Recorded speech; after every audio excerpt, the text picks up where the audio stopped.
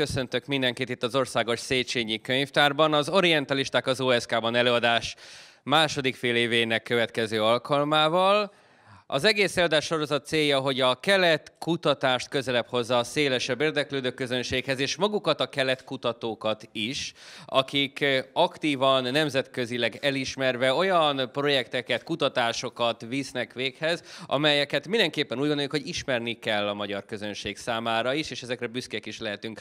Mostani vendégünk Major Balázs, a Pázmány Péter Katolikus Egyetem régészeti tanszékének vezetője, középkorász régész történész arabista, aki azzal vívta ki a szélesebb közönség és média elismertségét is a szakmán túl, hogy a legérdekesebb és most a legveszélyesebb zónában is képes komoly, széles léptékű és nagyformátumú projekteknek és kutatásoknak a megvalósítására. Én ezeket a történeteket nem fogom most előtte lelőni természetesen, viszont nagyon örülünk neki, hogy van olyan magyar régész, aki tényleg megjelenik nemzetközi és magyar legszélesebb körű média nyilvánosság esetében is. Másrészt pedig, hogy van olyan, aki, hogyha 60 ország kutatócsoportja elhagyja a területet, akkor még igenis a magyarok tudnak ott dolgozni. Én át is adom a szót Major Balázsnak. Nagyon szépen köszönöm. Mindenek beköszöntésként elmondanám, hogy az, hogy Szíriában ilyen tragikus a helyzet, annak nem mi vagyunk az okai, és ez nem az érdemünk, az se, hogy ott maradtunk. Annyira hihetetlen jó és kedves emberek lakják, és annyi barátunk lett ott az évtizedek alatt, hogy, hogy azt kell mondjam, hogy az a alapkötelességünk, hogy ott legyünk. Akkor is, hogyha mind a 150 külföldi misszió elhagyta, mert nem 60, 60-an voltak, hanem 150-en korábban. Az előadás egyébként nem erről fog szólni alapvetően, hanem ugye, amire felkértek, tehát hogy a keresztes korszakról beszéljek, beszélek valamilyen szinten, és ennek az anyagi kultúrájáról, amit nem egyedül kutatok, tehát most se egyedül dolgozok Szíriában, hanem egy nagyon lelkes magyar csapattal, tehát amely kutatókból, kollégákból és hallgatókból is áll, illetve nagyon sok szír kollega és, és hallgató dolgozik velünk, akiknek szintén ki kell emelni a munkáját, akik nélkül az egész nem működne. A, Mielőtt a keresztes államokról és a keresztes történelemről elkezdenénk beszélni ezek az anyagi kultúrájáról, pár dolgot azért érdemes letisztázni.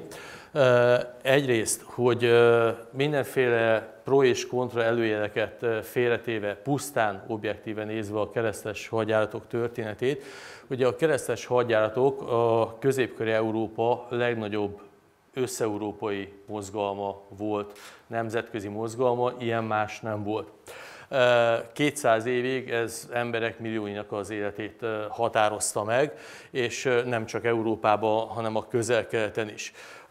Azt is érdemes tudni, hogy a keresztes hadjáratok alapmotivációja az a vallási volt. Tehát sok minden ráragadt, rengeteg mindent utólag ragasztottak rá, de a mai mértékadó elsősorban nyugati történészek, hiszen leginkább angol száz területen foglalkoznak ma a keresztes hadjáratok történetével. Tehát a, a legmértékadóbb történészek szerint itt elvitathatatlan, hogy itt alapvetően egy vallási motiváció volt, nem az anyagi nyerészkedés hajtotta a kereszteseket a közelkeletre, már csak azért sem, mert ha valaki úgy ránéz erre a keskeny tengerparti sávra, hát ez nem a meggazdagodás területe volt, ez a pár tíz kilométer termékeny vidék.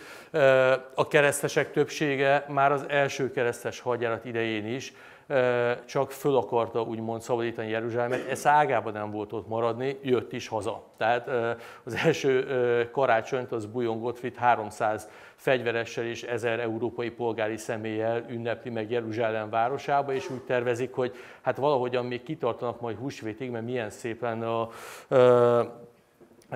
ugye keresztefeszítés templomában ünnepelni a húsvétot, és utána haza is jönnek.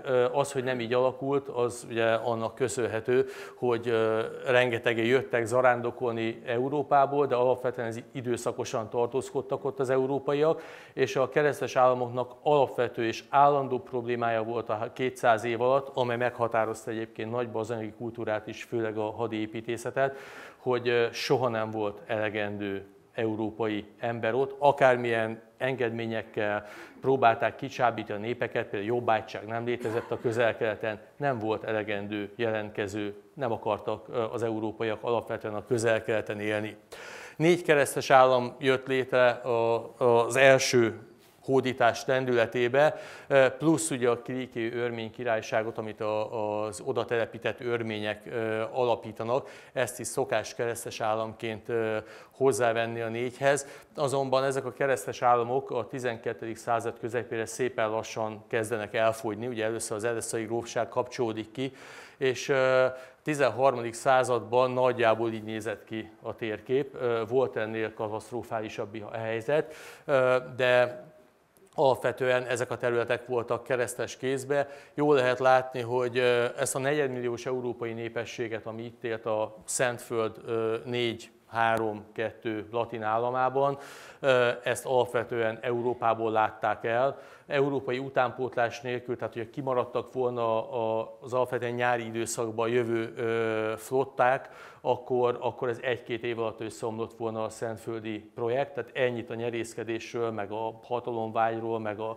egyházhatósugarának a kiterjesztése, meg hasonló ilyen furcsa elképzelések, csak az okleveleket kéne megnézni, és egyből rájönne az ember, már az első keresztes hagyarat idején is, a keresztes hagyjáratos díj az elképesztően drága történet volt, és a részvevőket abszolút többségében leginkább azt foglalkoztatta, hogy mi lesz a, a hátrahagyott birtokaikkal, meg a családjukkal, hazajönnek-e egyáltalán, és hogy hogyan fogják tudni ezt az egész dolgot teljesíteni. Nem pedig az, hogy majd milyen gazdagok lesznek ők a közel-keleten. A, nagyon fontos tudni ugye a keresztes államok területéről, hogy akkoriban a terület többségé még keresztény többség élt, tehát namai viszonyokból induljunk ki.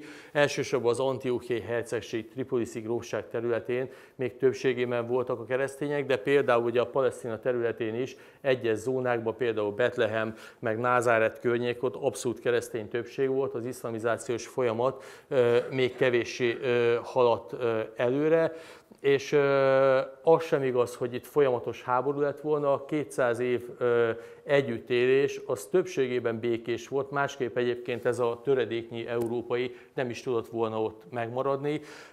A, a helyben élő ugye a keresztes felhatóság alatt élő muszlimokkal kapcsolatban is, az ő véleményükkel kapcsolatban is, ugye idézném Ibn Jubait, ugye a granadai utazót, aki ugye onnan Granadából, az Emirátusból Alexandria érintésével érkezett el Mekkába, 1183 magasságában. Csöndben megjegyzem, hogy genovai hajó utaztak a muszlim zarándokok Hispániából ebbe az időbe, ugye muszlim országból muszlim kikötőbe, tehát egy keresztény köztes megálló se volt, és visszafele is, miután megtette az arándoklatot, és egyébként több ugye, közelkelti nagyváros is meglátogatott, visszafele is ugyanígy keresztény hajóval ment vissza a muszlim országba az arándoklatról, és menet közben ő leírja, hogy a keresztes uralom alatt élő szunita muszlimok is sokkal nagyobb jogbiztonságba és kevesebbet adózva élnek, ezért a muszlim uralom alatt élő muszlimok is keresztes uralom alá vágyakoznak, mert hogy dicsérik a frankok igazságosságát és méltányosságát, Allah átkozza meg őket. Tehát ez hozzáteszi a krónikájába, ez a Lana Humalla, de lényeg a lényegben, hogy, hogy teljesen korrekten és objektíven,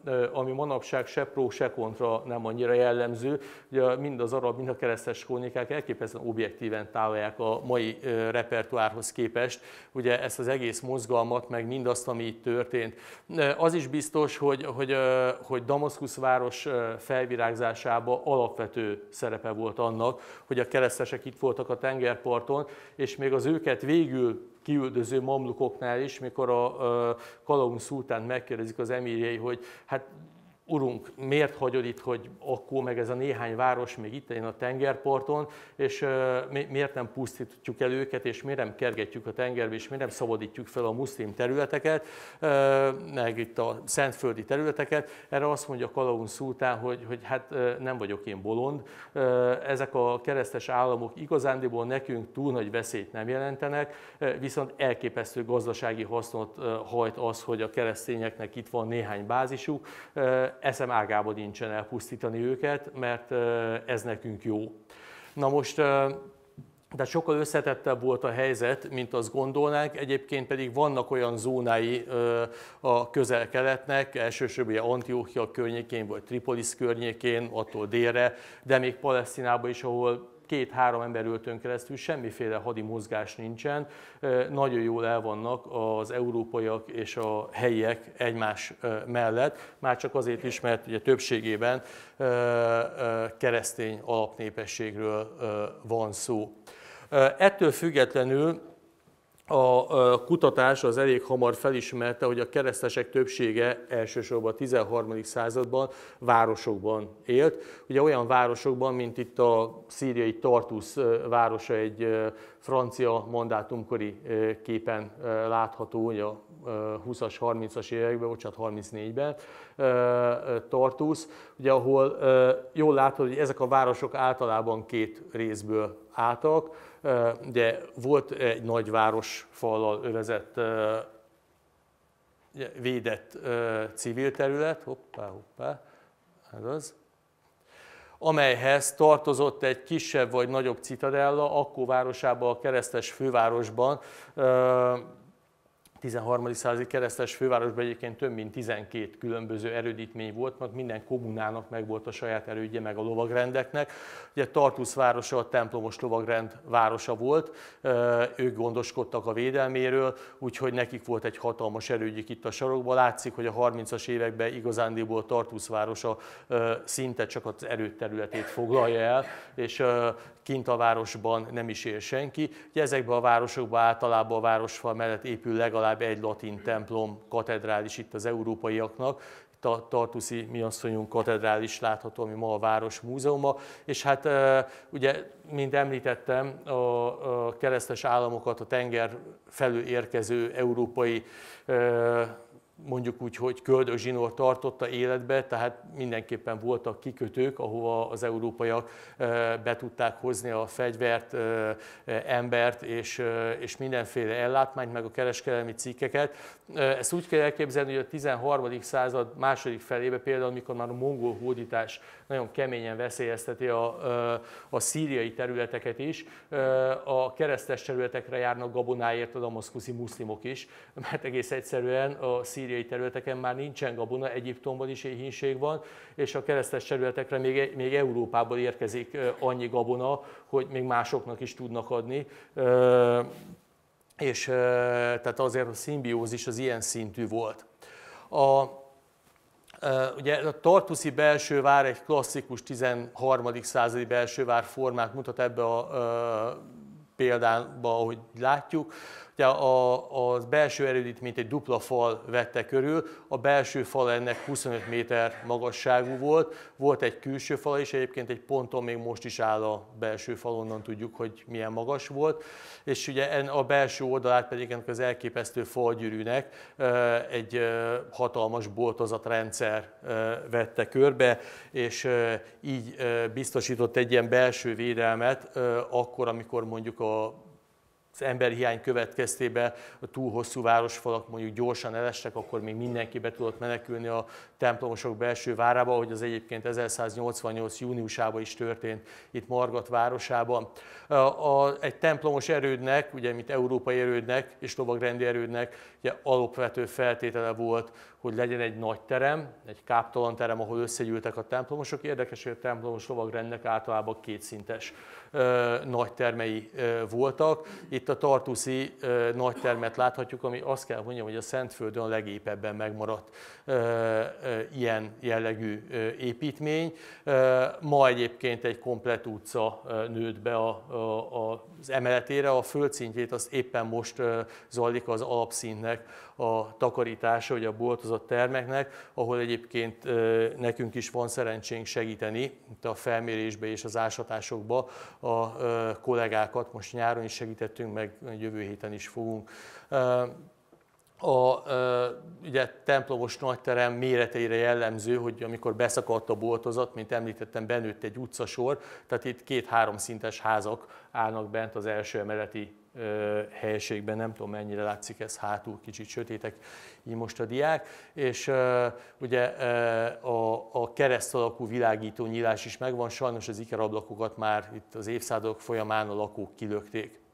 És itt pedig ugye a, másik nagyon fontos alapkelléke minden lovagrendi várnak, a templomos, illetve itt templomos máshol ugye vagy Johannita, vagy német lovagrendi, vagy világi kápolna, várkápolna látható. Hát itt is az történt, hogy a, az első traktus beszakadt a boltozatnak, és oda benőtt rögtön egy utca, hátul viszont a, a hátsó felében nagyjából megvan a boltozata a tartuszi kápolnának. És itt pedig ugye a mi asszonyunk katedrális látható, ami a Szent Föld egyik legfontosabb zarándok helye volt.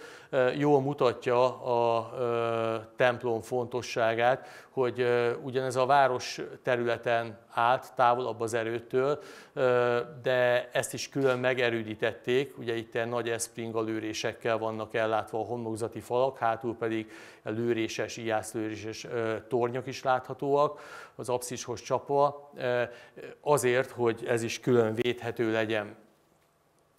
A, már a korai kutatás fölismerte azt, hogy ugyan vannak ezek a nagy keresztes várak, amik elképesztően látványosak, de mellette van vidéken egy nagy adag kisebb méretű erőd, és rengeteg kis apró lakótorony keletkezett. A formájuk alapján egyértelműen a 12. század első feléről beszélünk, a 13. század már nem nagyon építget senki ilyen önálló lakótornyokat a vidéken, illetve rengeteg okleveles forrás szólt arról, hogy, hogy a keresztesek ilyen és ilyen falut adományoznak ezen és ezen a vidéken, mondjuk a Tripoliszi gróf, hogy a dél-francia hűbéreseinek, és és nagyon sok korabeli helynév megőrződött, a legtöbb egyébként most is ugyanazt a nevet viseli, tehát Ugye itt van Nubia falva például, ugye mi egy 1163-as oklevélben szerepel, ugye az a mai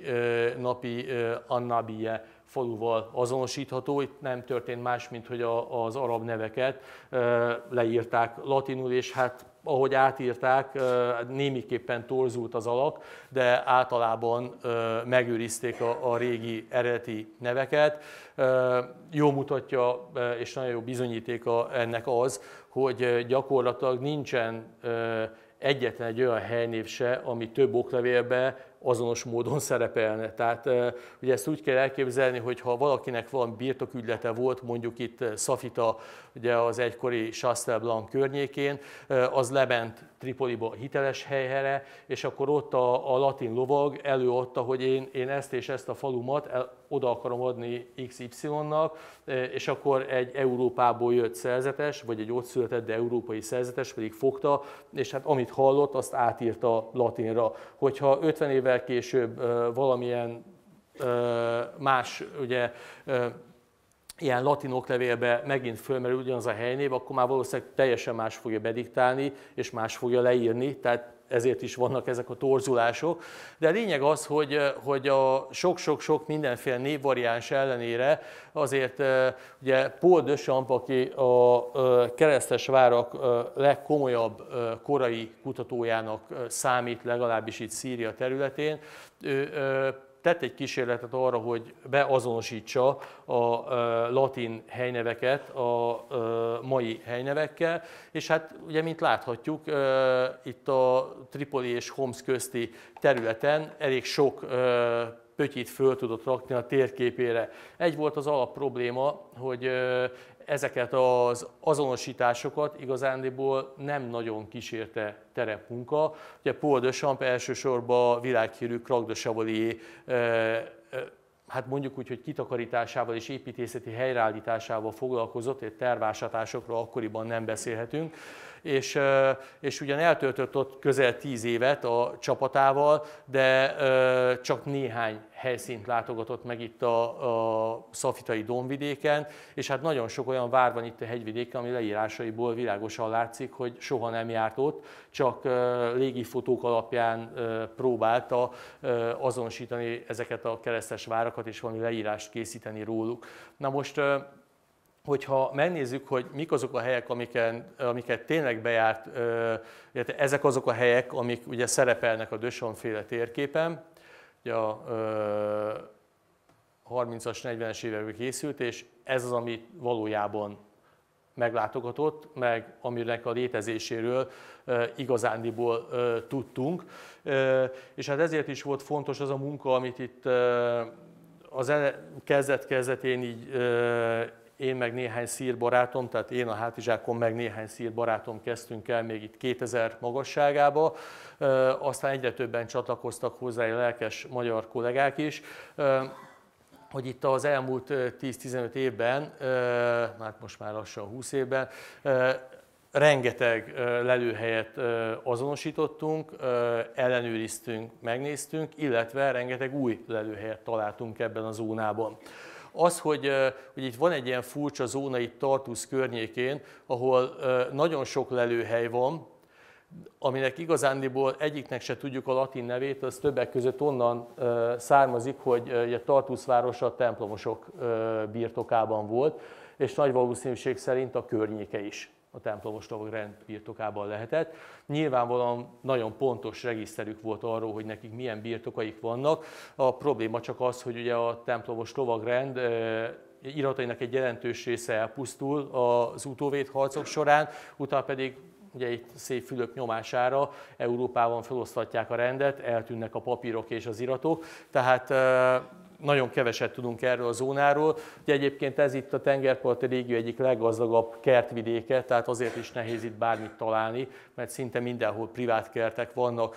Kicsit jobb lett volna a helyzet, hogyha 25-ben kezdi az ember a terepbejárást, mert mint egy légifotóról látszik, ugye nagyjából ugyanez a terület van itt a légifotón, így gyakorlatilag néhány facsoport volt csak, de még fák se voltak, olyan szinten lepusztult a vidék itt az oszmán korban, nemhogy települések vagy falvak, most arra pedig gyakorlatilag nincsen egy négyzetméter, ahol ne lenne valami citrusfa ültetvény, meg olivásliget, tehát most már sokkal nehezebb, ugye már csak a kerthatárok miatt is dolgozni, de ettől függetlenül mi nagyon komolyan dolgoztunk itt a kollégákkal az elmúlt időszakban, és igazándiból a terepbejárás most is az egyik kedvenc elfoglaltságom, jobban szeretem, mint magát az ásatást, úgyhogy tehát kinott a hegyekben kalandozni, és nap mint nap elképesztően jó emberekkel találkozni, hiszen ott a hegyekben élő öregek, fiatalok, egyszerű, végtelenül szegény, de hihetetlen kedves és becsületes jó emberek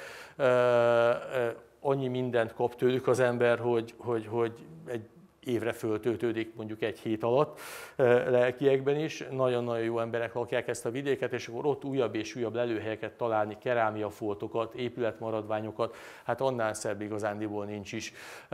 Természetesen minden egyes ilyen terepbejárást komolyan előkészít az ember, a latin források mellett arab forrásokat is átnéz, amellett ugye a mandátum korabeli és a mostani szír katonai térképeket is, ugye a helynevek alapján próbálunk ki sakkozni olyan zónákat, ahol leginkább kecsegtető egy-egy terepbejárás, és nagyon fontosak a régi útleírók, akik a, mondjuk az 1800-as évek közepén, mint Valpul, ugye járták ezt a vidéket, és megemlítettek ezt a szamaszt, mondjuk Jamás, Ruajszab Jamásnál a kis keresztes lakótorony maradványt, az konkrétan Valpul könyvének köszönhetően találtuk meg, mert ő említette, hogy valamilyen furcsa gótikus ajtajú torony előtt elhaladt, a toronyból nem maradt meg a gótikus ajtó, csak az alsó boltozott szint, hogy az ajtót már elhordták, szépen fargott kövei lehettek, de maga a, a, a torony az, az ott volt, és hát ennek köszönhetően találtuk meg, mert nem valószínű, hogy elmentünk volna az ottani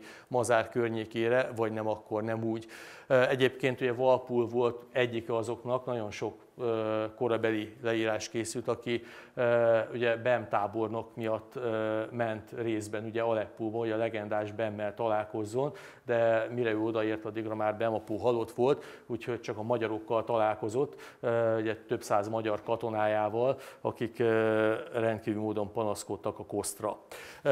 A, Ugye, mint említettem, az egyik legfontosabb érték ezeken a vidékeken a, a helyiek tudása, mind az öregek, mind a fiatalok. Az öregek azok tudják, hogy hogy nézett ki a torony mondjuk 100 évvel ezelőtt, vagy 80 évvel ezelőtt, mert még a nagypapájuk mesélt róla, vagy ők maguk is látták, hogy mi pusztult el. A, a gyerekek pedig azért zseniális segítőink, mert amellett, hogy nagyon sokszor beállnak és tartják a mérőszalag másik végét mondjuk, elképesztően hasznos információkkal szolgálnak arról, hogy, hogy hol van egy barlang, hol van egy ciszternanyílás, hol van valami faragott kő, stb.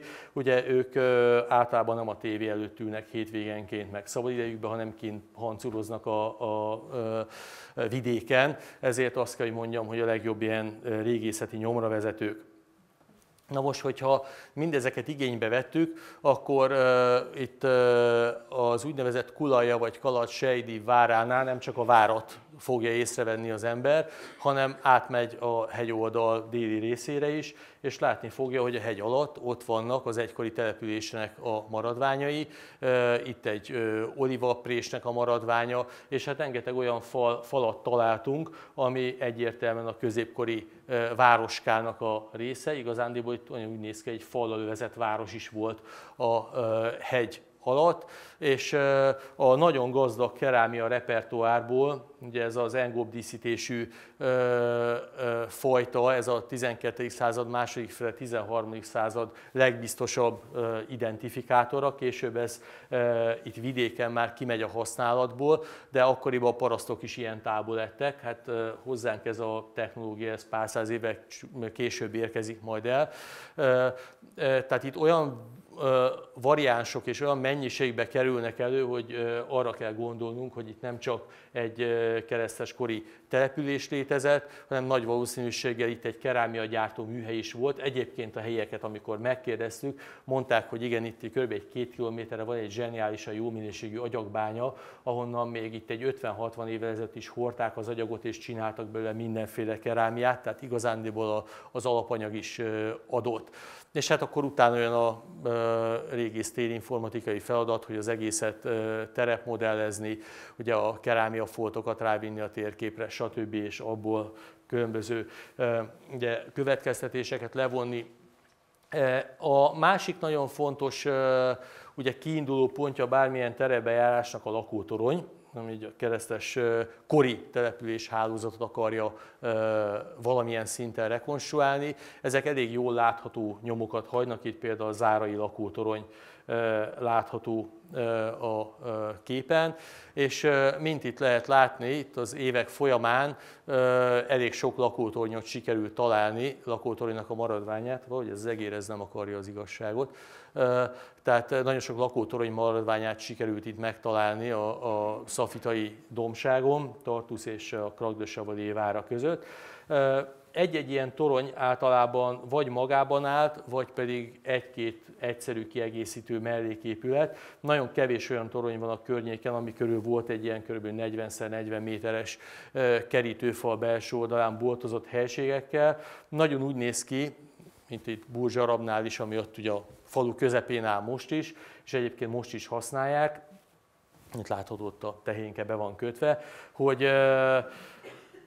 hogy itt úgy nézett ki a felállás, hogy a, a, ezen az elképesztően gazdag és egyébként relatíve jól védett vidéken, 12. század első feléről beszélünk, a Tripoliszi gróf a provanszál hűbéreseinek, ugye Tripolis ez egy alapvetően provanszálok által lakott keresztes állam volt, itt különböző mennyiségű falut osztott ki egy-egy lovagnak, 5-10 falut valószínűleg, annál többet nem, nem hiszem, és, és ezek a lovagok kiköltöztek, és a, kiválasztottak birtokközpontként egy falut, és kiköltöztek a családjukkal együtt, és ugye annyira nem voltak gazdagok, hogy várakat építsenek, de legalább egy lakótoronynak kellett lennie, ez olyan, mint ma a pesgősfürdő egy bizonyos szint fölött. Tehát úgyhogy, vagy a zongora álljon nappaliba, akkor is, ha nem tud rajta senki játszani a családba. A, itt is ugye lakótoronynak kellett lennie, akkor is, hogyha igazándiból ezeknek az objektumoknak a nagy része nem tudott konkrét védelmi funkciót betölteni. Ugye több lakótorony nem is a dombtetőn van, mint mondjuk Bulzsarab, hanem lent a szomszéd völgybe, ahonnan mindenhonnan be lehetett lőni. De hát ott közel volt a patak, meg lent volt a völgybe a falu is. Ezek alapvetően békeidőben épültek, ezek a tornyok. Ha véletlenül osom érte őket, vagy támadás, akkor körülbelül ugye egy, egy, egy-két napig tudtak kitartani. Az volt a feladatuk, hogy, hogy annyi ideig tudják tartani magukat, amíg a segítség meg nem érkezik, ugye egy közeli, nagyobb erődítményből. De mint a tornyon is lehet látni, ugye ez alapvetően nem halászati szempontból védhető szempontból készült el, épült meg. Ugyan a egy pillanat.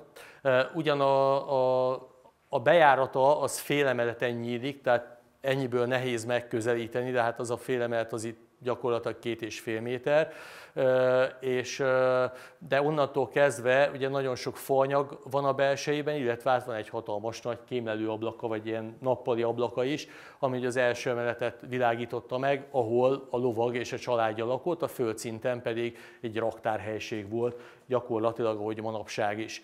Ugye ma az ajtó az elzárt állapotban található, jól lehet látni ezen a kövön, hogy itt nagy valószínűséggel még valami címerféle is lehetett, vagy egy kereszt befaragva, és hát az is látszik, hogy a kollega úr, aki ezt a tornyot építette, ugye mindent próbált felhasználni az építésnél, ami csökkentette a költségeket, tehát egy késő antik épületnek az architrávját is beépítették, aztán mindenféle mészkő anyagot hoztak el korábbi római épületekből, illetve hát ezen a képen itt látszik, hogy ide a sarokban még egy szarkofág fedlapot is beépítettek, egy ilyen rómait.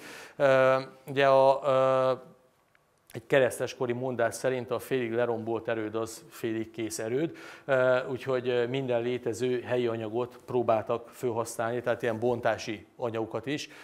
Végül is ez az életminőségen nem zavart. Jól látszik, hogy a falak nagyon vastagok, ez a 12. század alapvetően passzív védelemre berendezkedett erődítményeiről van szó, és az első emelet, ahol itt érkezett föl a, a pillanat, a, a ugye, látogató a földszintről a fal vastagságába futó lépcsőn keresztül. Megpróbálok egy új trükköt bevetni, és akkor hát, ha sikeresebb lesz hogy a másik kép, nem tudom, nem lehetne le kapcsolni mégis ezt az első lámpát teljesen? Mert az nagyban segíteni a... Majd nem.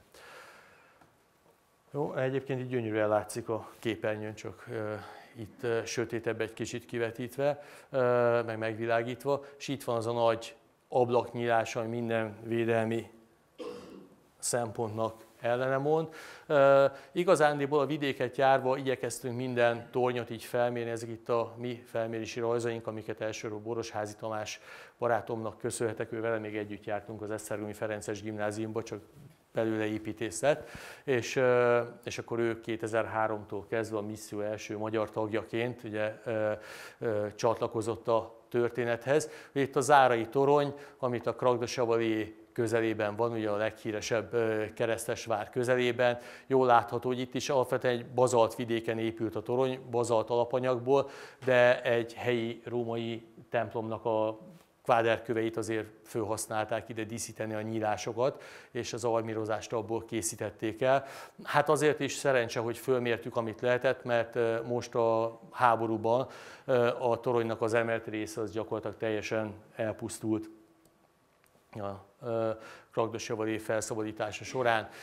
És akkor egy újabb példa itt Umhos erődje, aminek szintén nem tudjuk a keresztes nevét, de nem kizárt, hogy az 1954-ben említett Castrum Novum erődítményről van itt szó, ahol ugye szinte egy kétszintes lakótornyot láthatunk egy földszinti boltozott helységgel, ami a raktár volt, és egy emeleti keresztboltozatos helységgel, ahova egy fa lépcső vezetett föl, ugye ezt még külön egy dobozlőrés véte, és akkor itt élt fönt a, az úr és a családja. Itt egyébként ugye, ahogy a fölmérési rajzunk is mutatja, legalább három oldalán beboltozott várudvar vette körül ezt a tornyot.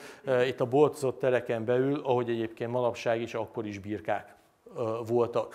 Az egyik legizgalmasabb telebejárásunk, és ami szintén rámutat, hogy mennyi helyen élhettek ugye keresztesek, és hol elő nem fordultak, az itt Észak-Szíriában, gyakorlatilag a török határtól néhány kilométerre, az Orontész folyó partján, ugye Darkus városkája, ahol még az arab szakos szakdolgozatomban foglalkoztam a környék, tehát Aleppo és, és Antiochia közötti 12.-13. századi erőt hálózattal, annak a változásával, stb. És akkor ott bukkantam krónikában, ugye elsősorban Ibn Saddad és Ibn Vászil krónikájában, krónikáiban egy bizonyos Sakív Dorkus igen frekventált emlegetésére, ami hát egyértelműen, hogy Darkus városa környékén kellett, hogy legyen.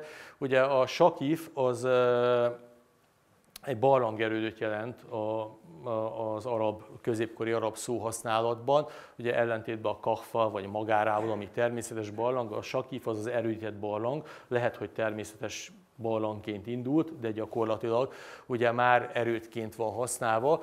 A, a korszak máig meghatározó régészeti történeti topográfiában, amit Düsszó írt, ugye az 1927-ben adták ki, a, ugye ő megemlíti, hogy igen, itt volt egy erődítmény Darkus városában, de hát ez már, ez már elpusztult, és a lakók elhordták a köveit. Na most olyan barlangerődöt még nem láttam, aminek a lakók elhordják a köveit, akármilyen helyen is van, úgyhogy úgy gondoltuk, hogy 2003-ban, hogy akkor erre a zónára, ez egyébként ma Idlib megye, erre is kérünk ki kutatási engedélyt, és akkor Tomi barátommal nekivágtunk, és Hát igazándiból sokat nem kellett keresgélni, mert itt a római híd fölött, amit ugye egy orontész áradás vitte, de a késő középkorig ez a híd ez át, és ugye ez volt a főútvonal itt az orontész völgyébe, Antióchia fele. Hát itt fölötte ott figyel a barlangvár, ugye a sakifunk, több szinten is. Az igazándiból nagy kérdés nem is az volt, hogy hol van a sakif, hanem hogy hogy jutunk föl oda. Hát innentől kezdve gyakorlatilag minden nap egy ilyen másfél-két órát másztunk oda föl, ugye a városka szélén indultunk el, és akkor valahogy itt így végig mászkáltunk ott a peremeken. Ugye egy többszintes barlangvárról van szó, tehát megérte fölmenni, aminek az alsó szintje valószínűleg római kori sírokként kezdték ugye a karrierjüket, rengeteg római teraszig, illetve a kerámia van itt, és ugye végigjártuk az fönti hegytetőt is, és onnan nem mosódott le, ott nem volt semmilyen településnyom. És akkor ezt szépen bővítgették a keresztesek. A barlangváraknak az volt az elképesztő előnye, hogy sokkal olcsóbb volt megcsinálni, mint ugye messzetégetni, követ faragni, stb. Itt csak fogtam, és akkor az egyébként nagyon puha sziklába bevéstem a váramat, és mivel nagyon nehezen megközelíthető helyeken vannak általában, sokkal kevesebb emberre is gazdaságosan védhető. Úgyhogy itt is valószínűleg egy, egy, öt, hát egy tíz fősnél nagyobb helyőrség nem nagyon lehetett benne, ugye a felméréseink szerint. Ugye a megközelíthetőségéről ugye annyit, hogy mi is így másztunk be, és hát ilyen peremeken egyensúlyozott végig az ember, ugye amíg fölért, és minden felé ugye ciszternák nehezítik a, az előrehaladást, illetve hát tették lehetővé a városségnek a békeidőben a, a vízhez egyszerű hozzájutást. Ugye egy Tomi barátom éppen mászik itt föl. de ez volt az a ö, történet, ami miatt megtanultunk ipari alpinistáskodni, és akkor megvettük a teljes felszerelést, és azzal másztunk ö, mindig föl, mert ö, ö, én tudtam, hogy a barlangvárakozók általában manapság már ugye, meglehetősen leromlott állapotban vannak, viszont azt is tudtam, hogy ha megtaláljuk a barlangvárat, azonosítjuk, csak éppen bemenni nem tudok, akkor engem ott fog megütni a guta. Úgyhogy inkább az ember itthon baráti segítséggel megtanulta ezt az egészet, meg használni a dolgokat, és utána akkor a 60-70 kilóval a hátunkon arra szóltunk fölfel, hogy egész napi víz, meg valamennyi almaadagot is föl kellett vinni, hogy estig kibírjuk, és akkor elkészültek ugye a felmérési rajzok, ez itt a legfelső szintje a barlangvárnak, ahol jól lehet látni, hogy különböző kifejezetten tárolás céljára épített, meg ilyen elővédmű szobácskák is vannak, és itt, itt például, hogyha ezekbe a amfóra illesztő lyukokba tényleg berakták a, a kerámia edényeket, víz, gabona, stb., akkor, akkor ez a tér ez már holtér volt, tehát itt biztos, hogy nem aludt, meg tartózkodott senki. Ugye sajnos a, a homlokzat az mára már elpusztult, tehát nem tudjuk, hogy hány lőrés volt ide beforogva, illetve hogy esetleg voltak-e fa elemes ablakzáró, és hogyha már az ember az Orontész völgyébe volt, ami egy elképesztően gyönyörű vidék, és még akkoriban romlatlan terület volt, volt, hogy 20-30 kilométereket kellett gyalogolni, hogy az ember bejusson egy-egy ilyen völgyszakaszba, meg le tudjon mászni, tehát ez egy ilyen autómentes zóna volt.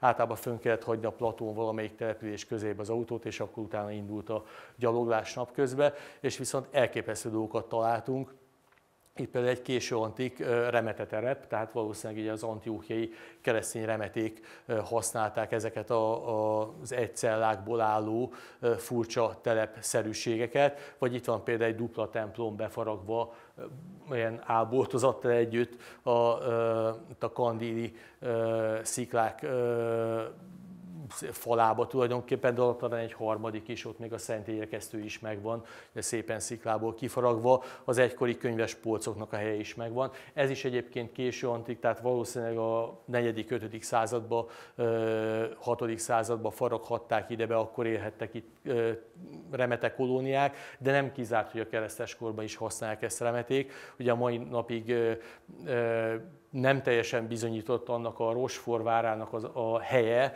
ami egyébként valószínűleg a nem túl messze levő Bakassúr erődjére vonatkozhat ez az okleveles említés, amihez közel említenek egy abbáciát, ugye apátságot, nem kizárt, hogy egy ilyen telepet használnak újra. Egyébként így néz ki a vidék, és hát főleg október-novemberben elképesztő. Ugye itt a narancs, gránátalma és grapefruit, meg mandarin szezon van, ugye itt is egy ilyen ültetvény, egy ilyen idős bácsinak a kertecskéje, és na most Szíria szerte, de ott az egész zónában, a tengerparti zónában a darkusi gránátalma a leghíresebb, azok ilyen ekkorára nőnek, és uh, itt az Orontész partján, és tudom, hogy minden reggel, mikor itt így uh, lementünk, uh, ketten, hárman itt a uh, helyi barátok uh, kíséretébe, akkor a bácsi, aki bent élt egy ilyen uh, késő remete üregbe ott a uh, uh, kertjének a, a szélénél, uh, elállta az utunkat, és addig nem engedett tovább, még meg nem tömtük a hátizsákunkat mandarinnal, narancsal, stb. Visszafele ugyanez a történet zajlott le, és csak úgy elmondanám a, a szíriai emberekre, mi az alapvető jellemző, most felejtsük el a médiát, meg, meg a mindenféle híreket, de egyik nap úgy jöttünk, az már egy decemberi terepbejárás volt, akkor azért a gyümölcsök miatt érdemes, de az eső miatt már akkor kicsit macerásabb a terepbejárás.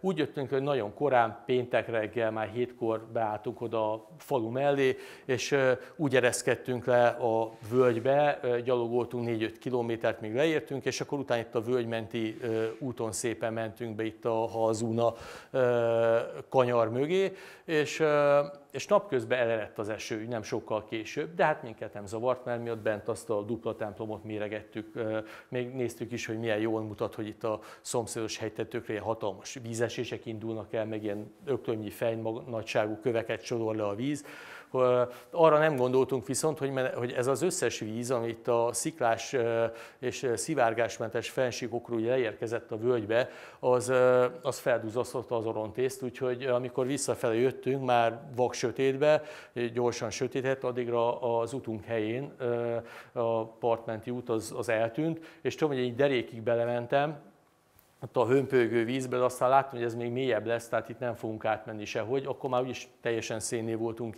ázva, hogy teljesen mindegy volt, de nem tudtunk átmenni. És akkor gondolkoztunk, hogy hogy menjünk át, és akkor egy ilyen kis srác valahonnan szomszéd hegyfokról elkezdett nekünk hintegetni, hogy maradjunk csak ott a helyünkön.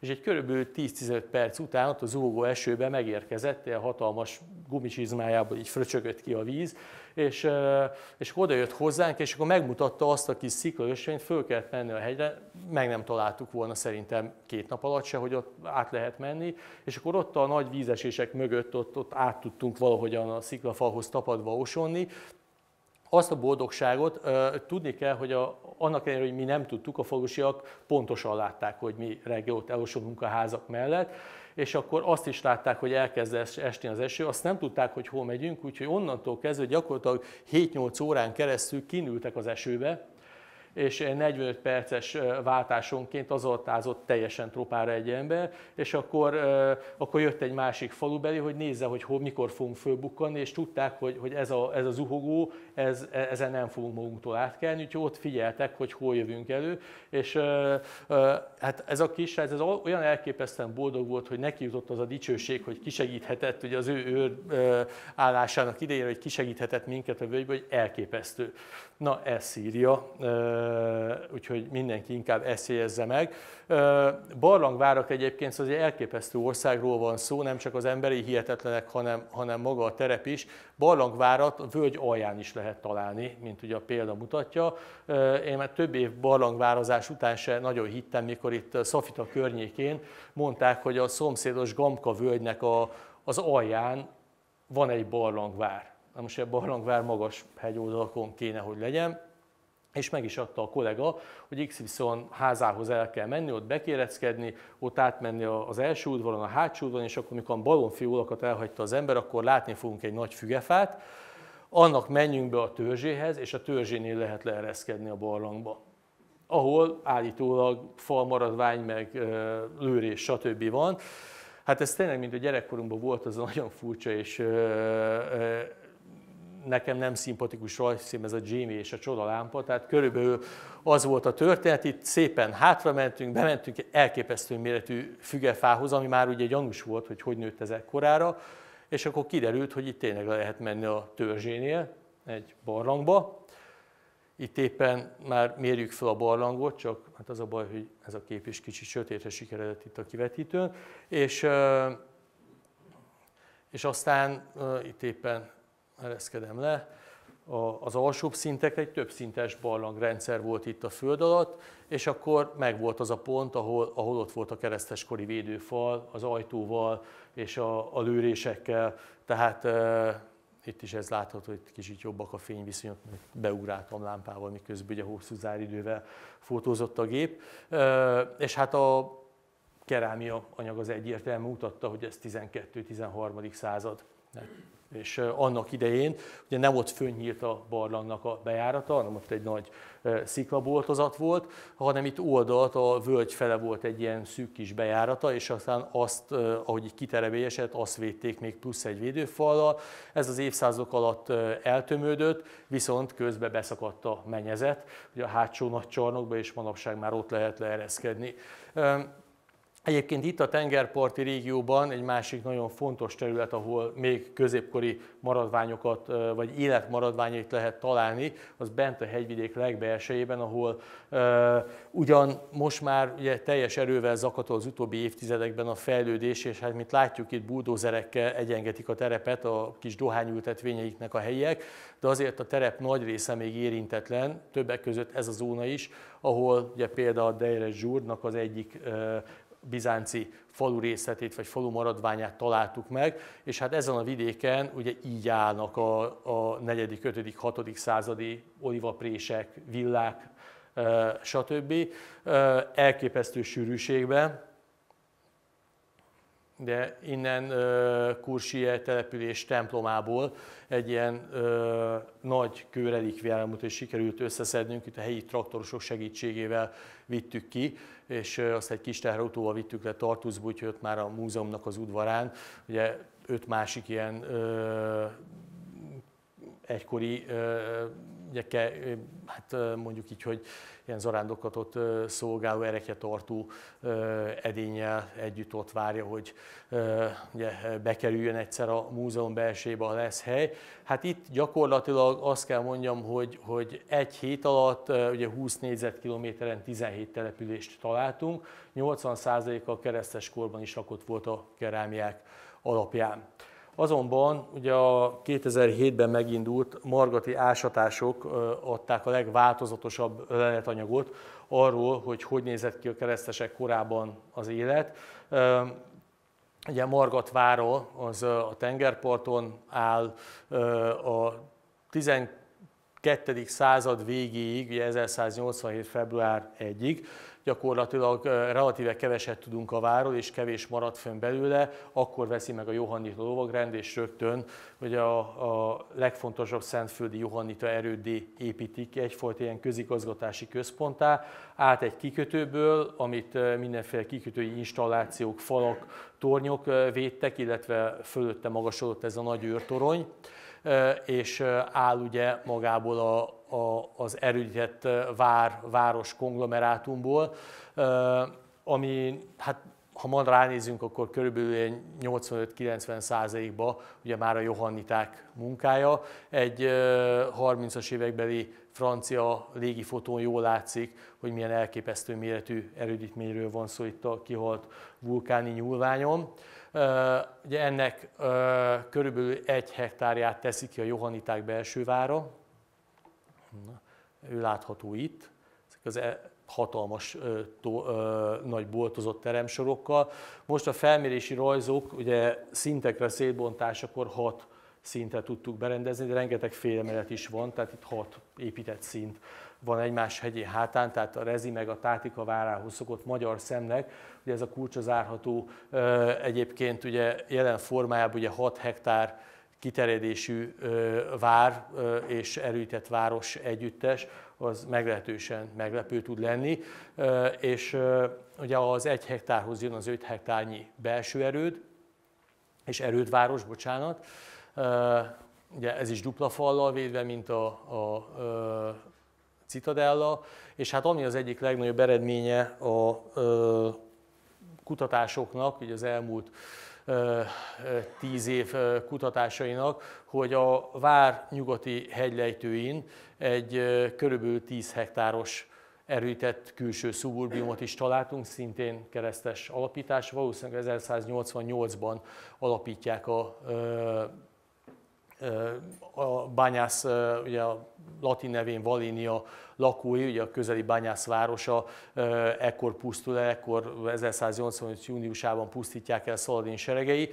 Úgy tűnik, hogy nem csak a bányászi püspök, Antérius, hanem a város lakossága is már ezt megelőzően fölmenekült a hegytetőre, és és hát itt tulajdonképpen ugye kitartottak, és hát miután a városuk teljesen elpusztult, épít, itt építették fel az új város, rendkívül gazdag előkelő házakkal, és ugye több templommal is, mint a példa mutatja.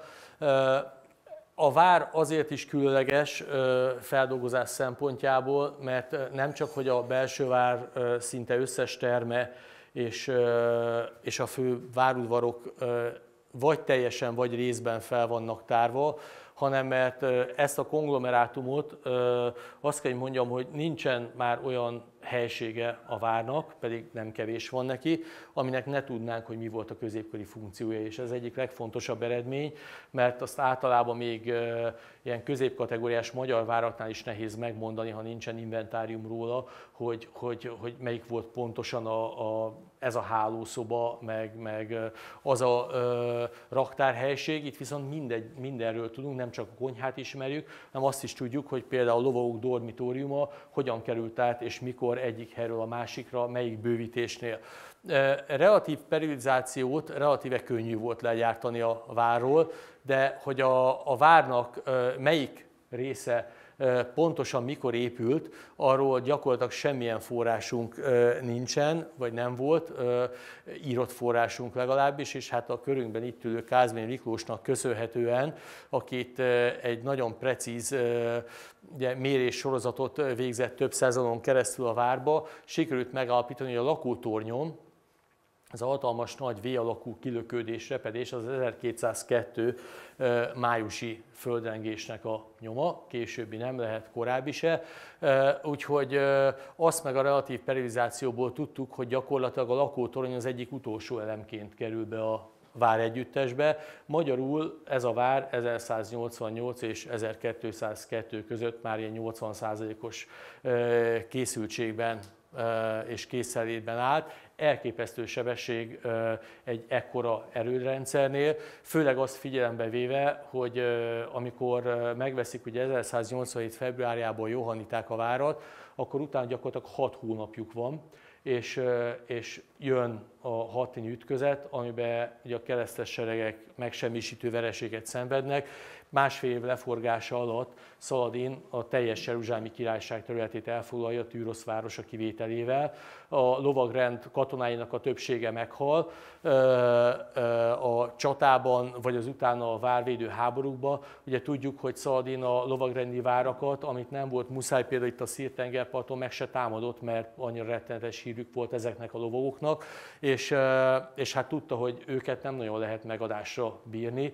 Ugye Belvoir várott Palesztinába, Galileába másfél évig át ellen a Belvár Johannita vára az őt ossomló Szaladin féle seregeknek úgy, hogy a Johannitáknak zéró reménye volt arra, hogy bárki valaha fölmenti őket, mert az egész királyság el, elesett, és ők meg ben voltak valahol ott a szárazföld kellős közepén.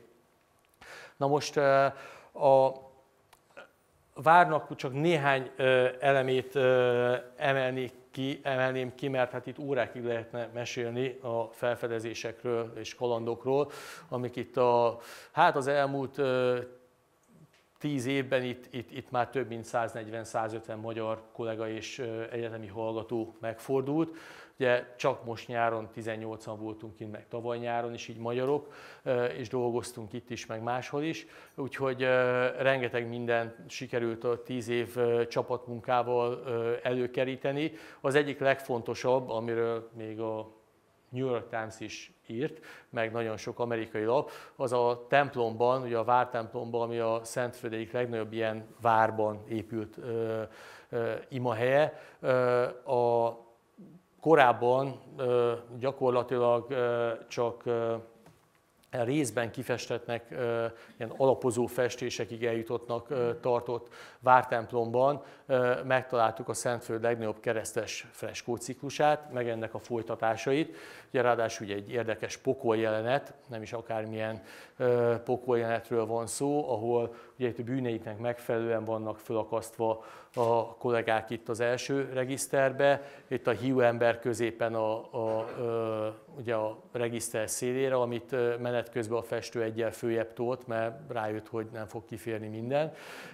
De ugye itt alapvetően az aláfestő vonalak maradtak men, a felső adott esetben 5 pigment réteg, az a legtöbb helyen lepusztult, a finom festések, úgyhogy elég sok minden előtűnik. Ugye a parázna, itt látható a hazugember, vagy káromkodó, a mások vagyonát kívánó, és ugye az inkriminált testrészt azt általában még egy kígyó is ezegeti. Ugye a középső regiszter az egyik legizgalmasabb, mert ugye egyrészt van ez a szörnyűséges pengéskerék, amire itt egy ilyen nagyon rossz arcú ördög kalapálja rá a, a, a a pórujártakat, illetve a bűnösöket, és az így szépen forog. De ami a legizgalmasabb, hogy a Johannita vár kellős közepén ugye egy latin püspök ücsörög, anyaszült mesztelenül egy nagy katlanban, egy kondérban, ami körül lángok csapnak fel, és nem kevesebb, mint négy ördög foglalatoskodik vele. Úgyhogy ez egyébként utal, ugye, hogy a johannitáknak sok vitájuk volt a helyi latin püspökkel. A freskó kutatás, amit a Képzőművészeti Egyetem kollégái vezetésével folytatunk itt a várban, az már eljutott oda, hogy nagyjából rekonstruálni lehet számítógépesen, hogy mi, hogy volt kifestve az erődítménybe.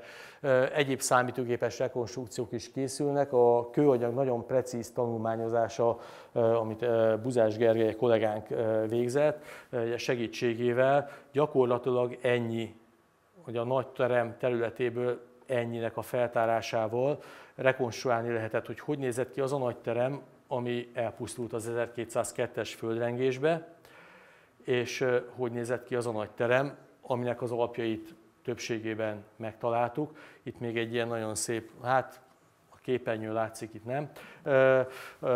Nagyon szép ugye belső élményrekonstrukció is van arról, hogy hogy nézhetett ki a pusztulóban levő nagy terem, ugye kívülről ez a kép fogadta látogatókat, és lépésről lépésre a vár felmérése, feltárása során el tudtuk kezdeni digitálisan visszaépítgetni a várat, gyakorlatilag centi pontosan, és ugye nagyon szép textúrázott modellek is készültek, fogadóterem, ugye itt kápolna, lakótorony, ugye itt a, a latin püspöknek a rezidenciája, a privát fürdője, és hát mint említettem, nagyon fontos, hogy sikerült megállapítani gyakorlatilag minden teremről, hogy mi volt a funkciója. Tehát például itt a délnyugati teremsoroknál pontosan tudjuk, hogy ez volt itt a nagy raktárcsarnok, ez volt itt a kisebb raktár, ami egybe boros pince is volt. A kör alakú szellőző nyílásokon húzták föl a lovagok refektóriumába a bort, a boros hordókat, az emeleten étkeztek a lovagok, alul a fegyvernök testvérek, a szomszéd terem volt a konyha, fönt a lovagok gyengélkedője lehetett, és az ahhoz tartozó kis konyha.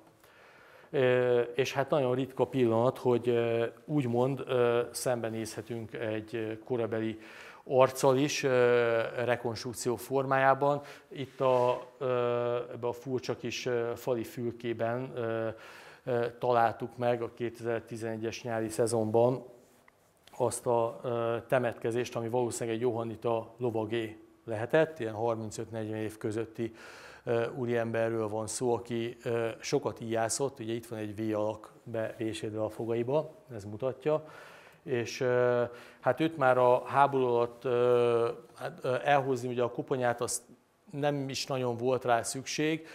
Levittük a Tartuszi kórházba, ugye 2012 volt csak valami hajnali 3 és 4 között volt időpont a CT gépre, ott egy kis szabad hely, és ott be lett ct meg Damaszkuszba is, és akkor igazándi volt csak a, a szkennelmény lett Magyarországra elhozva, ilyen 1600 metszet lett elkészítve a koponyáról, tehát rendkívül precíz és pontos felvételek készültek, ami alapján elkészült ugye a 3D nyomtatása, koponyának, és az alapján a Természettudományi Múzeum munkatársait, a Hungária Nostra Alapítvány közreműködésével elkészítették a,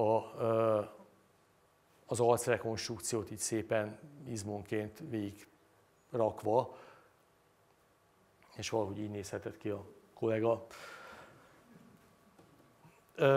Ami nagyon fontos felfedezés volt még itt a vár kapcsán, az, hogy és ami azért az európai középkorra is némi fényt vet, plusz fényt, hogy elképesztően fejlett vízgazdálkodási rendszerrel rendelkeztek ezek a johanniták, és úgy általában a keresztesek. Ugye a 200 év alatt egy olyan esetről nem tudunk, amikor vízhiány miatt esett volna el keresztes erődítmény.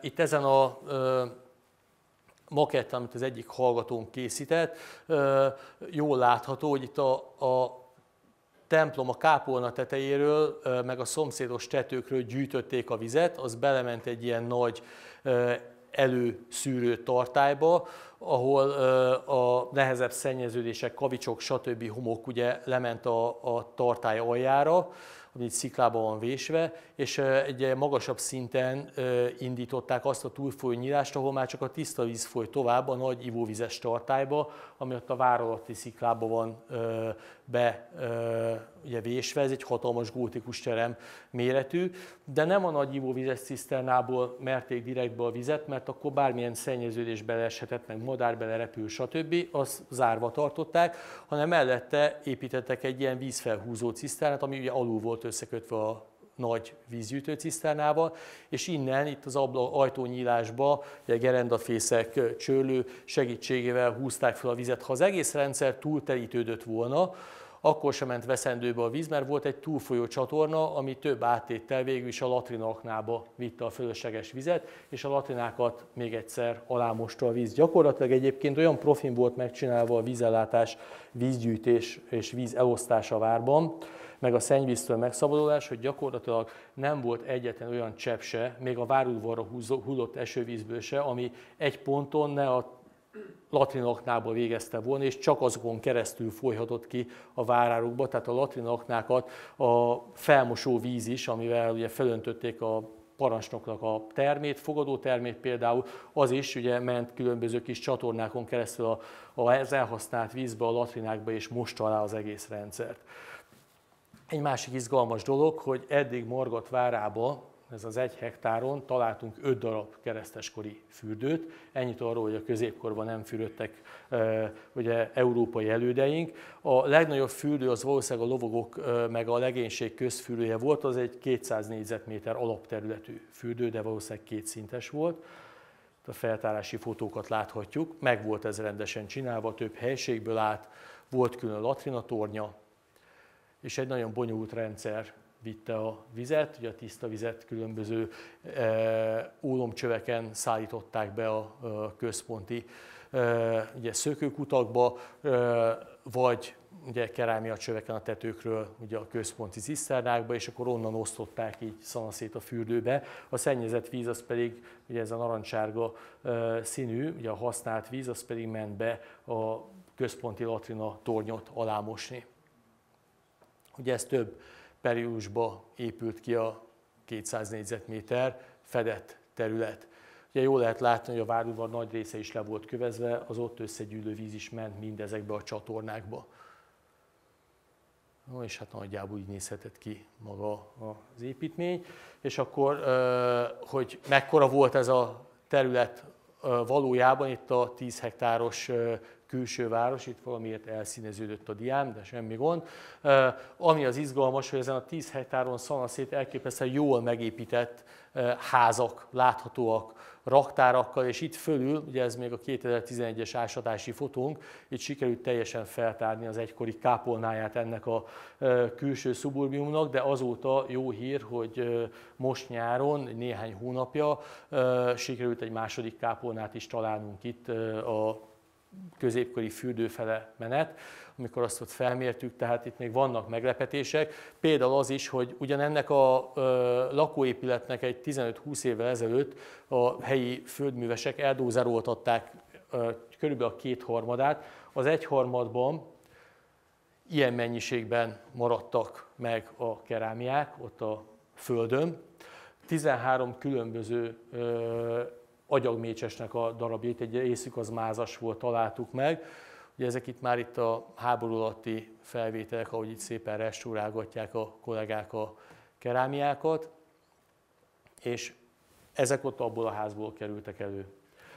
Némelyiken gyönyörűen látszik, hogy hol talált el a számszeri hegye, a, a lövedék, ugye a kerámiát, tehát egyértelműen látszik, hogy vagy 1283-ban, vagy az utolsó osomnál 1285-ben gyakorlatilag amikor a, az ellenségei mamlukok betörnek a kisvárosba, akkor, akkor random lövöldözve mennek előre a számszeríjas egységek, és, és össze-vissza ugye több korsót is eltalálnak, amilyen szép sugaras irányba robban szét. De rengeteg számszeri hegy volt mindenhol, és hát a lakók ilyen étkészletekből fogyasztották a levest és a mindenféle sült húsokat. Ez egyébként egy ritka szicíliai import edény.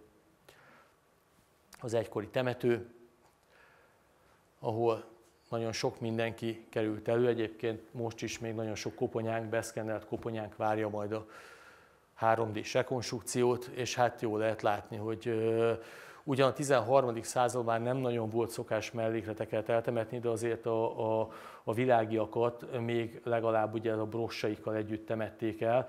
Ugye ezen még egy Ave Maria felirat is látszik, egy európai gyártmányról van szó, és hát jól lehet látni, hogy a kápolna is szépen ki volt festve.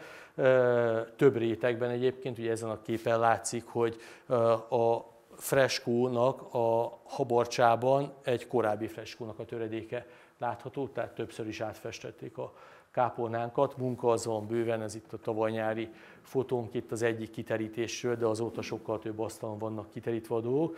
És végezetül egyfajta lezárásként, ugye hagy emlékezzünk meg arról, amiről manapság kevesen, hogy idén van a 800. éve, hogy Magyarország is részt vett a keresztes hadjáratokba, ami nem kis teljesítmény, mert a egyik egy nyugati történet szerint leleményesen csak középkori NATO-nak nevezett mozgalomban saját királya vezetésével saját sereget csak a franciák tudtak kiállítani, az angolok és a németek. Tehát ahhoz képest ugye csak Magyarország ebből a régióból indult el saját királya vezetésével, indított sereget, és nem volt katonailag seredménytelen az, amit ott elértek a, a magyarok és a koalíciós hadsereg. Annyi katonával, ami összejött, ugye a többi európaiak késtek az ígéretükhöz képest, és annyi katonával többet elérni nem lehetett. Hazafele pedig András megcsinálta azt a bravúrt, amit soha senki a keresztes történelem 200 éve alatt, hogy szárazföldön hozta haza a seregét soha senki a Szentföldön nem jött haza szárazföldön. Már az első keresztes hadjárat résztvevői is, akik túlélték, azok hajóra szálltak és úgy mentek vissza Európába. András a 13. század elején megcsinálja azt a hihetetlen tettet, hogy az egész seregét szárazföldön hozza haza. Nyilvánvalóan nagyon jó diplomataként eh, elboltolta az átkelést ugye a Anatólia Szeldzsuk területein is.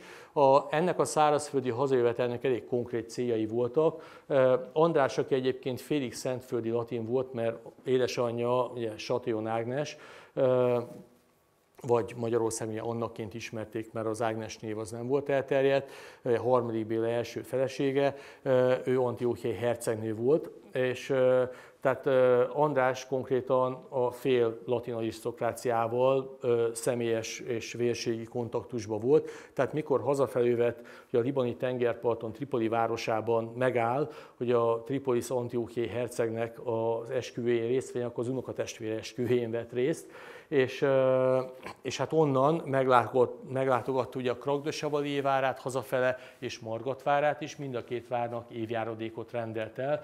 Ugye évente húsvét táján 24 kg ezüstöt kell a szalacsi sóraktárakból leküldeni a várak fenntartására örökkön örökké, mint azt az uralkodó rendelte. A szalacsi sóraktárak egyébként ma már román területen vannak, tehát tőlük kell kérni a 24 kg ezüstöt annak, aki szeretné ugye a jókat érvényesíteni. A lényeg az, hogy, hogy, hogy a magyar király ugye nem csak ezeket a várokat látogatja meg hazafelé és rendel el nagyon komoly összeget a támogatásukra, hanem végig a hazaúton mindenhol diplomáciai házasságokat köt. Ugye, hogyha megérte volna az a fia, akkor magyar király lehetett volna a kilikai örmény királyságnak, hazafele jövet, annak ellenére, hogy András ugye konstantinápolyi latin császár is szeretett volna lenni, egyébként erre minden esélye megvolt, ott is nagyon jó rokoni kapcsolatokkal rendelkezett, felesége révén, de egyébként a testvére volt a legnagyobb hűbérnek, ugye Tesszolnikének, ugye a Margit, Árpádházi hercegnő volt az úrnője, tehát jól látunk Konstantinápolyban is akkoriban. Annak ellenére, hogy latin császár akart lenni, előtte még benézett a nicai görög ellen császár udvarába, és onnan hozott feleséget, ugye Laszkaris Máriát, a későbbi negyedik Bélánknak. Aztán latin császár ugyan nem lett, de ha már arra járt, akkor a bolgár cárhoz is hozzáadta a cári családhoz az egyik lányát. Tehát végig diplomáciai házasságokat kötött.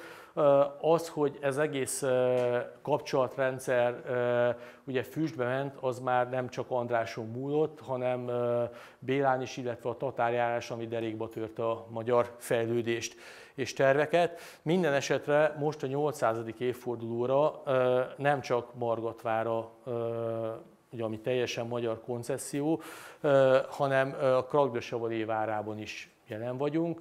Itt is van egy magyar koncesszió, a Szíriai Régészeti Főigazgatóság felkérte csapatainkat, hogy vegyünk részt a nemrég visszafoglalt, ugye mindenféle hát néhol demokratának is nevezett, gyakorlatilag szélsőséges csapatok által elfoglalt, és ugye onnan terrorizálták a vidéket több mint két évig. Tehát ennek a várnak a, a helyreállításában, illetve tanulmányozásában itt elsősorban Kápolnáról van szó, ahol éppen most is dolgoznak csapataink, ugye a Kápolna környékének a feltárása, illetve a Kápolna szigetelése modern anyagokkal, hogy utána a freskók megmenthetőek legyenek, amik itt is megvannak, és amiket mi dokumentálunk, tehát mindenki úgy nézze a képeket, hogy most már úgymond ide is visszakerült a magyar zászló itt a 800. évforduló kapcsán, és itt magyarok és szírek együtt dolgozunk, itt tavalyi felvételek a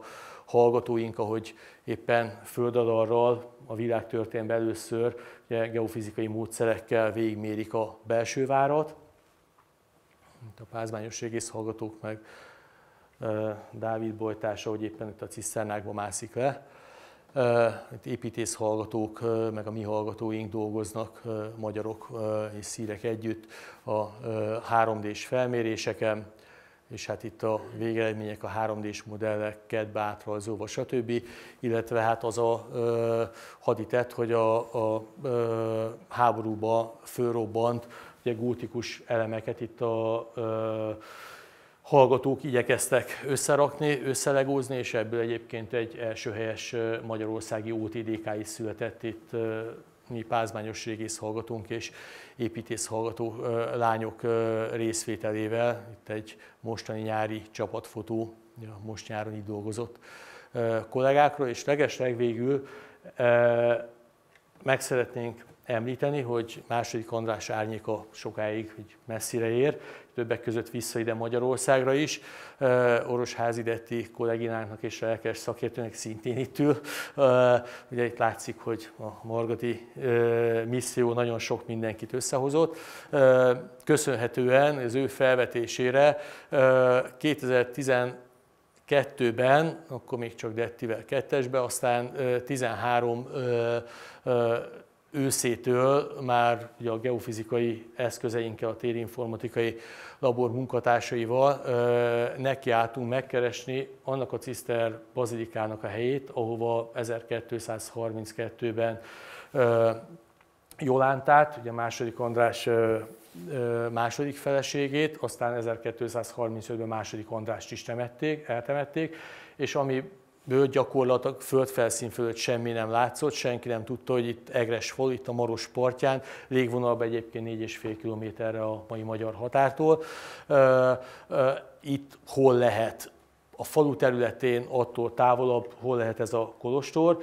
Hát sikerült megtalálni, és geofizikailag szépen kirajzolódnak ugye az oldalfalak, itt a déli fal, északi fal, itt a kolostor kerengője, aztán ugye a, katedrálisnak a pillérei is látszanak, és hát gyakorlatilag a, a nagyjából majdnem hasonló időbe épült Pilis Szent Keresztes hasonló alaprajzú templomról és valószínűleg kolostorról van szó, csak itt egy teljesen sík vidéken, ahol tavaly nyáron ugye román-magyar együttműködés keretében a Péter Katolikus Egyetem Régészeti Intézete és a helyileg illetékes Bánáti Nemzeti Múzeum munkatársaival együttműködésben ugye megindult a katedrális ugye feltárása és a második András féle királysír keresése, de hát ez messzire vinne, úgyhogy én itt zárnám is a beszámolót, és nagyon-nagyon szépen köszönöm a kollégáim nevében is a figyelmet, mert amit elhangzott, az alapvetően egy csapatmunkának az eredménye,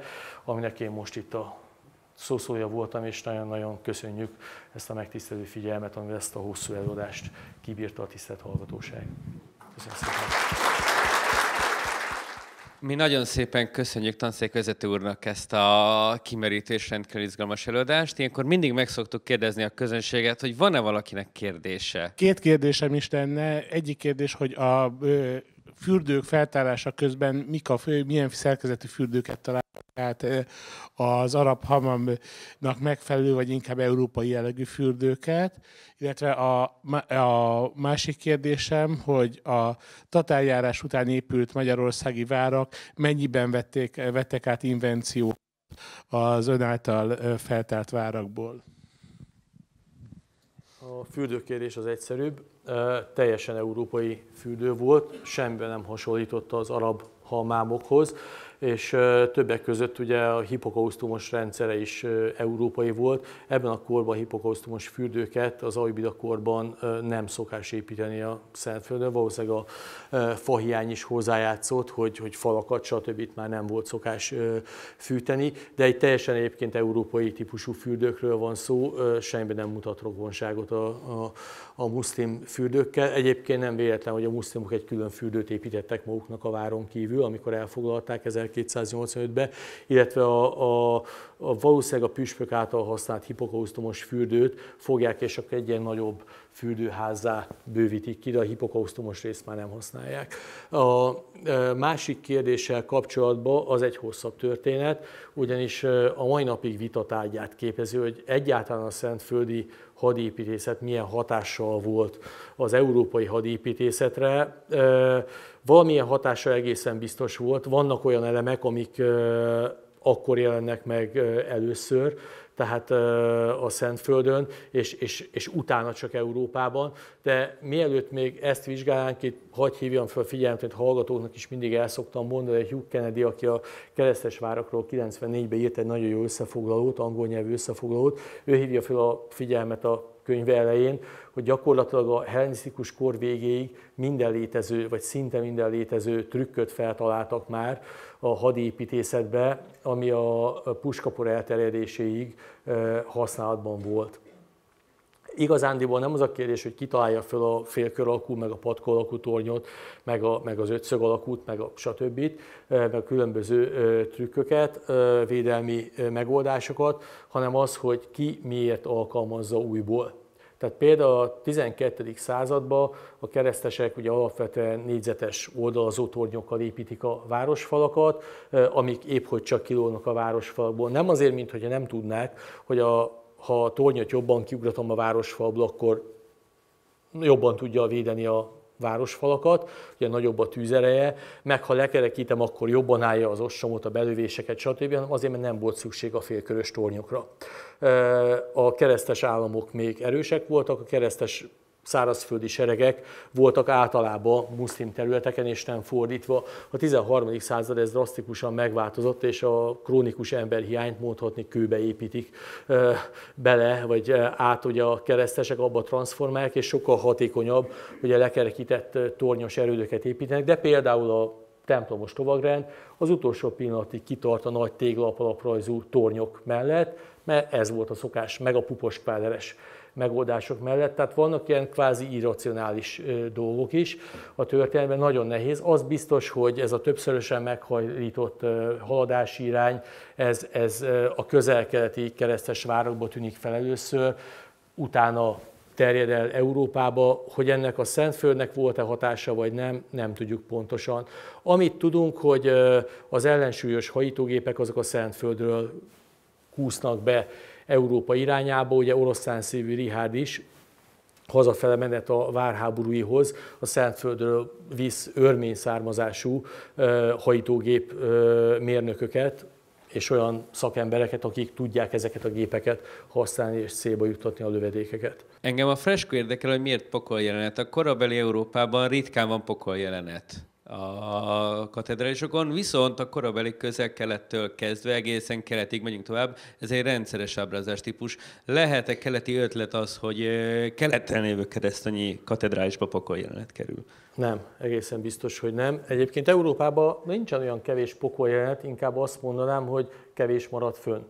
Tehát valószínűleg a, a templomok egy jelentős részében volt valamiféle pokolábrázolás is, általában nem az apszis mellett. Ugye itt az az izgalmas, hogy közvetlenül a szentély mellett van a pokol, egyébként szemben a mennyországnak a töredékeit sikerült megtalálni a kollégáinknak, és a szentélybe pedig végig ki volt festve az ablakmező, és a, az alsó regiszterek között egy ilyen keresztelő Szent János életét két sávba bemutató jelenetsorral, tehát többek között ott a lefejezés is látható, stb. És alul pedig mindenféle címerekkel, valószínűleg a Castellánusok címerei, mert valamit átfestettek, nyilván egy új Castellánus jött, tehát az a kis fekete sasos, stb. kifestés az az volt. Az egészen biztos, hogy nem keleti irányba jön a freskó már csak azért se, mert ez azon kevés kereszteskori freskók közé tartozik, amit európai mester festett. És ez, ez egyértelműen látszik. A keresztes ö, freskóknál már, amelyik megmaradt, azt ö, jól ö, lehet látni, hogy vagy keleti keresztény mesterekkel festették, vagy olyan európaiakkal, akik kint születtek, és hát manapság már szinte lehetetlen megmondani, hogy keleten, keleti befolyásolt európai, vagy európaiak által befolyásolt keleti festette az adott intézményt. Az biztos, hogy keleti mesterrel festetni ugye sokkal költséghatékonyabb volt, mert helybe volt, nem kellett elhozni Európából, és ha de nagyon magas kvalitású freskókat készítettek, ugye főleg bizánci mesterek, és, és hát hogyha véletlenül sérült a freskó, akkor is könnyebb volt utána reparálni, mint ugye egyszer elhozni egy európai mestert, aztán ha ő már nincsen, akkor ki fogja azt újra festeni, hogyha bármi történik vele. A, ö, jó mutatja egyébként Margat jelentőségét, hogy a johaniták beruháztak egy ilyen európai mesterek utaztatása, vagy festőpáhú utaztatása című körre. Több ember is festette a freskót, és az is biztos, hogy, hogy a pokol freskót már a keresztes korba levakolják. Valószínűleg azért, mert akkor már ez a püspökös üzenet mondjuk az 1220-as években már nem volt olyan ö, aktuális. Ugye nagyjából akkora tűnik el Antérius, akivel sok problémája volt a johannitáknak az oklevelekből, és, és 1220-as évek végén a johanniták olyan szinten ö, tudják érvényesíteni az érdekeiket Rómába, hogy megkapják a jogot, hogy a saját papjaik közül jelöljék ki a, a valíniai banyászi püspököt, és onnantól kezdve pont ellenkezőképpen azzal dicsekedett a lovagrend, hogy saját püspöke van a saját papjai közül. Most ez a pokol freskó egyébként speciál a püspöki trónussal szemben volt, aminek megtaláltuk helyét többek között a kifestés alapján. Úgyhogy, úgyhogy a saját püspököket már nem cikizték azzal, hogy, hogy nézhette, mint a, a, latin, a kapzsi latin püspök ücsörög ott a pokol kellős közepén, akivel külön négy ördög foglalatoskodik, míg a többiekre mondjuk három személyre jut egy ördög vagy ötre. Tehát úgyhogy ezt így, így oldották meg. Köszönöm szépen. Kérdése van-e még valakinek? Hogyha nincs, akkor mindenki leronhatja majd az előadót, mert nem lép el. Tehát itt még egy kávéra és egy kis uh, süteményre várjuk Önöket kint. A, azt hozzá szeretném tenni, hogy Buzás Gergely neve fölmerült, ő nem csak szépen tud várakat rajzolni, hanem mondjuk Visegrádot föl is építette, tehát egy uh, ásatásvezető régészről van szó. Itt általában a várrégészet mindenhol összehér, és létezik magyar várrégész expedíció Kazaksztánban is, ahol szintén középkori várakat tárnak föl. Úgyhogy ebben azt lehet mondani, hogy a magyarok már világhírűek.